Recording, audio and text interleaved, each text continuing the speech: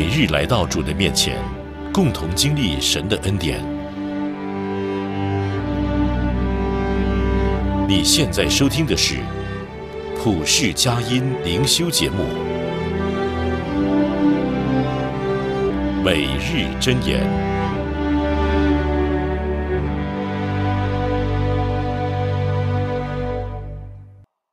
信守承诺。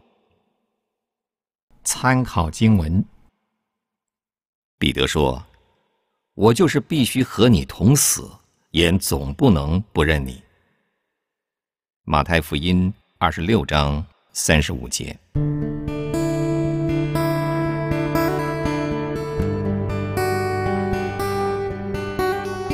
在电影《倾城佳话》这部影片当中。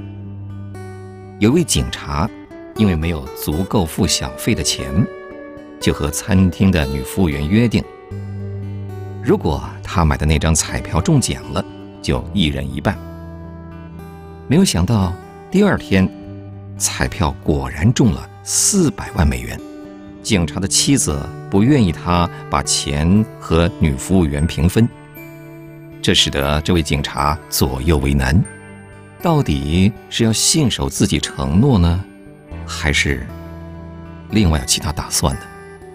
后来，他坚守约定，但是也因此付出了极大的代价。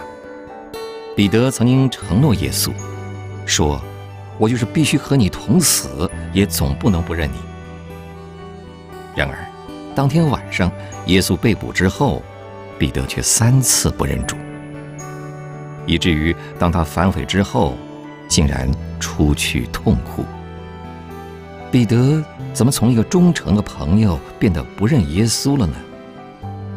我们若是真实的面对自己，就不难发现，我们可能也会犯同样的错。彼得可能害怕逮捕的危险，会和耶稣一样被判有罪。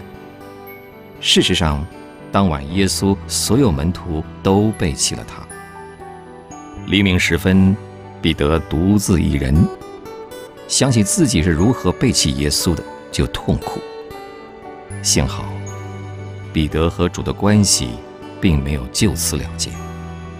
耶稣受死复活之后，饶恕了彼得，也再次复兴他的灵命，比他先前更有胆量来服侍神。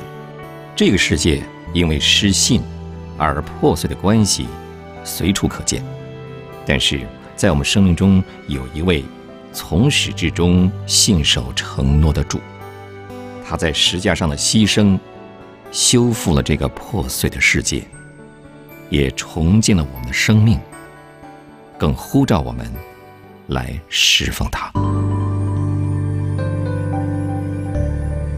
让我们一起祷告，天父，感谢你。让我们在失败之后，仍然能够与你重建关系。但愿我们能忠诚、刚强、壮胆的来服侍你。奉耶稣的名祷告，阿门。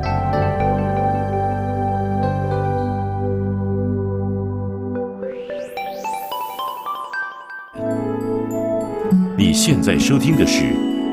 普世佳音灵修节目，每日真言。